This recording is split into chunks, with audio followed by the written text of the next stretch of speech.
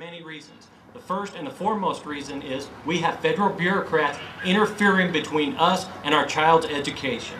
Like I have stated before, the first thing we need to do is we need to get federal bureaucrats out from in between us and our children, and we need to start teaching our children the original intent of the Constitution. Um, as I have stated, there are three main questions, and every senator should ask this, and every person should be taught this. Is this constitutional, and is it the proper role of federal government?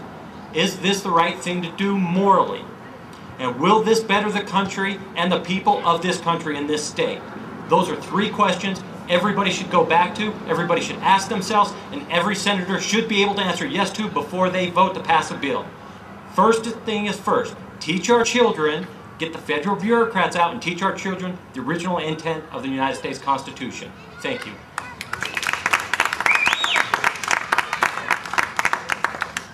Okay, the next media that we would like to have come up is KVNU from 610.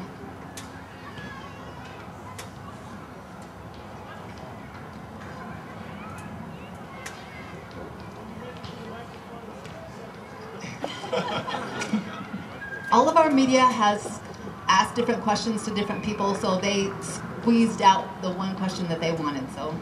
All right, a little something different. Can I each have you pick a number between 1 and 27? Say your name. Tyler, I'm sorry, I'm Tyler Riggs with KVNU 610. Will you each pick a number and tell me between 1 and 27, please? I, I will pick 20. Eight. Okay, I'd like you each to tell me what that amendment of the Constitution means.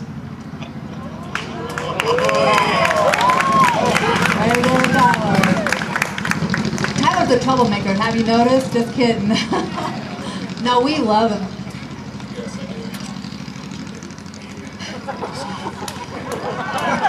Tyler, you ought to come tell us. hey, they have handbooks. I'm impressed. They've got handbooks. I'm the only one without notes.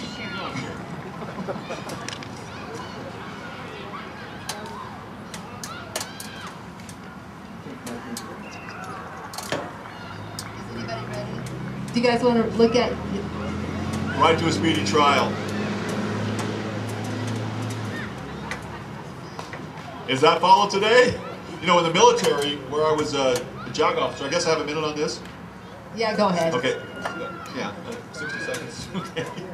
Uh, we had a speedy trial clock. This meant something when we were federal prosecutors in the Navy. If I did not bring my case, a, a felony court-martial case, within 90 days, unless the defense requested a continuance, we lost the case. Uh, we need to have more of that rule that's in the military, the Uniform Code of Military Justice in our situation today because it's ridiculous that some of these trials are taking one, two, and three years to get through. Uh, so it's questionable whether we are granting a right to a speedy trial to people charged with crimes. well, I guess I'll go next. The 20th Amendment uh, it will take me more than 60 seconds to read through the entire amendment.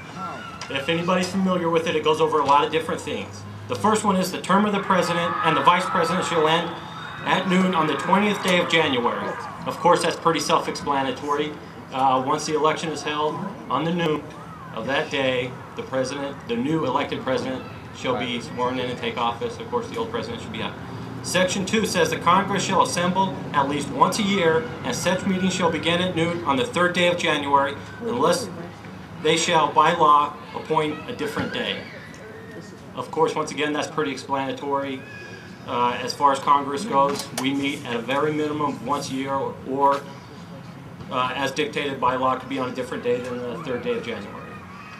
Section 4, the Congress may, by law, provide for the case of the death of any other persons from whom uh, the House of Representatives may choose president uh, whenever the right of choice shall have develop upon them. And of course it goes on. There's a huge amount of sections in here. I only got 10 seconds left. Of course the 20th Amendment just comes down to stating facts uh, about when people or when elected representatives should resume office. Thank you. Well, I think that's a great question. I knew that I should have memorized the entire Constitution before I came tonight. Uh, Amendment 8, pretty straight up. This is the no excessive bail amendment or fines or cruel and unusual punishment.